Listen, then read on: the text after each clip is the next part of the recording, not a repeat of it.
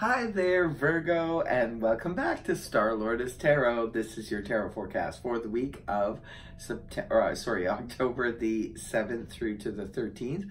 I went ahead, shuffled the cards, laid them all out. Let's see what's going on for Virgo. First up, we have Major Arcana of the Lovers in the upright, followed then by the Ace of Pentacles upright. And next we have the Six of Wands in the upright with the Two of Pentacles upright. And lastly, we have the Page of Cups in the upright. Okay, I'm going to go ahead and interpret this read for you. First of all, Virgo, for your overall energy, you have that of the Gemini card, the lovers in the upright position. And maybe you're dealing with a, a Gemini. They had a pretty um, love-filled, um, a loved, a love-filled reading for this week. So, um, the Lover's card is all about the choice, and I think you guys got the choice card in your monthly or last week. I know that uh, it came out for Virgo. This is all about having to make a decision or a choice about something. Now, for some of you, it's definitely concerning a relationship.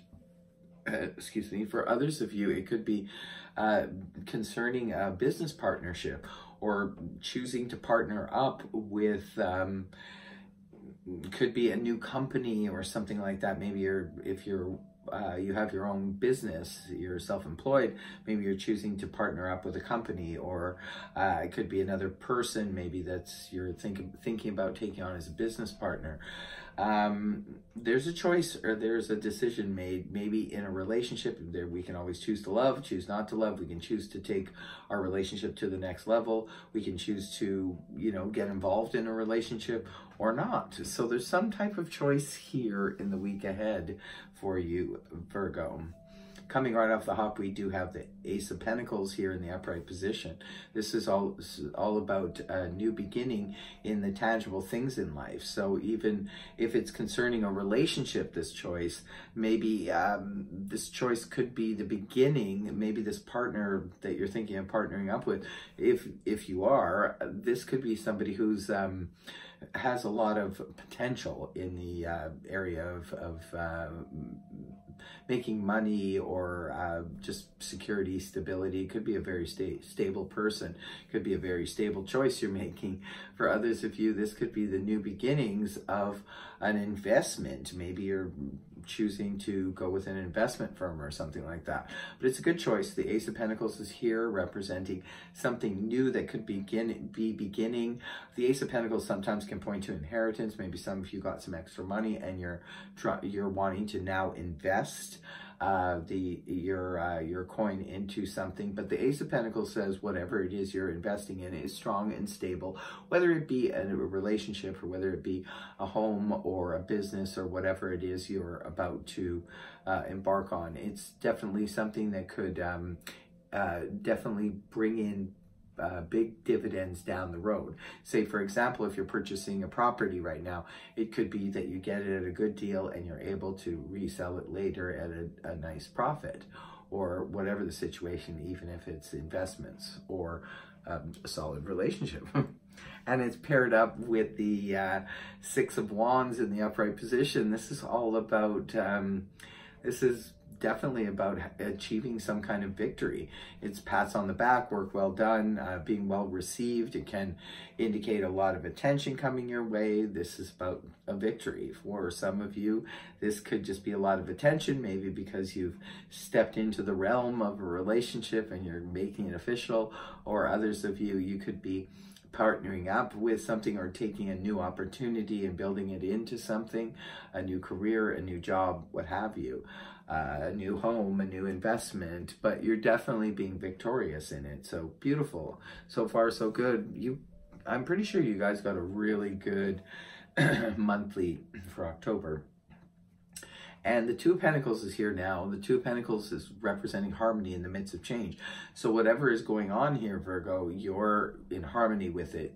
If it's something new that you're starting up or if you're doing something in addition to, such as uh, taking on a course as well as working, or if you're doing two different jobs or your uh, regular your day job and you're taking on a side job that kind of situation whatever it is um, you're doing so harmoniously this can also be uh, representative of balancing out the checkbook. So whatever's going on looks like a very good decision is being made here uh, Virgo, and it's something that you've maybe weighed out and you see the benefits of it now and it's doable. And the last card you have up here is the Page of Cups in the upright position.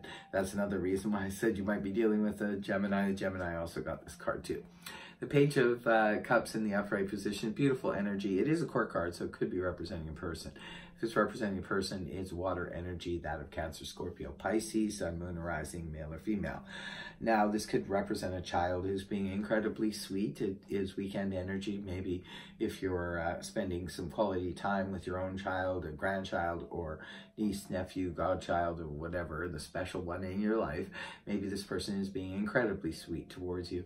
The Page of Cups can also point to someone who's being incredibly shy, but um, the page of loves, uh, the page of cups loves like he's never been hurt. It's very sweet, uh, very authentic energy. So it could be someone has a crush on you, Virgo, and they're sending you cute little love notes, or they could be sending you messages, but maybe they're just sort of like shy or immature messages because the person doesn't know how to like come full on and, and be, um, be mature about things. So interesting, very sweet, and also very productive uh, week for you, Virgo. Lovely reading.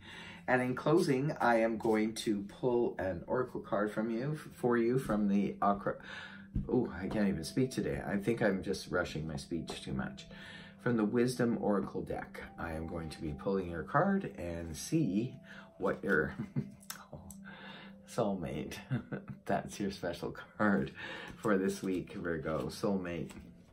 Could be some soulmate energy around for Virgo. okay, maybe that's what the big choice and decision is about here. So that is your reading. I hope it helped you. If it did, please feel free to like, share, and subscribe. Otherwise, I will see you next week. Bye-bye for now.